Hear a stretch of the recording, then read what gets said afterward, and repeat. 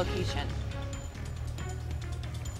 At 8:31, we are back now with more of our Hurricane Arthur coverage. Uh, there's now that the sun has come up, we have seen uh, some damage in several places. Big concerns this morning about roads, especially Route 12.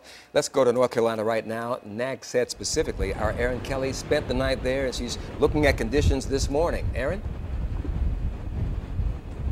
Good morning. We are on 64 in Nags Head. Take a look behind me. The water from the sound has come over the road here. People are still driving through it. Uh, it had been blocked off at both ends, but it looks like people are trying to go through it right now. This is the sound side flooding we had been talking about overnight and into this morning.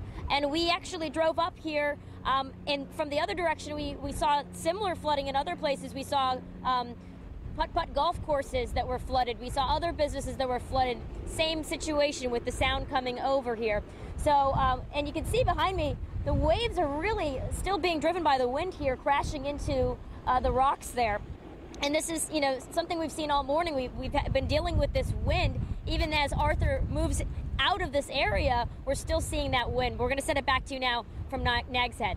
Boy, Erin, it's pretty interesting that those cars were allowed to cross. We saw them stopped uh, by the uh, the police uh, or sheriff's office, whoever that is right there. They were stopped um, about 10 minutes ago, and suddenly they were allowed to cross. Doesn't that look like a fairly dangerous situation, or is the water not as deep as it might seem?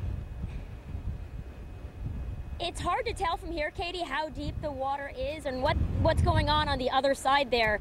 Um, but, you know, I'll tell you, the people that are attempting it are, are doing so pretty slowly because it looks like they're not, they're not sure themselves how deep it is. Um, but I will check with officials on that, see if we can get a word on whether or not they plan on opening this road up or if they've already done that or what the situation is here. But we just got here. We just saw the sound washing over the road here. And as I mentioned, the other direction, in a lot of businesses, we're seeing it fill in around uh, go- mini golf courses and places like that. So um, certainly, a lot of people are going to be dealing with this. There's also going to be other cars that may be um, needing to be- get towed out of there because they're also uh, getting flooded in around there.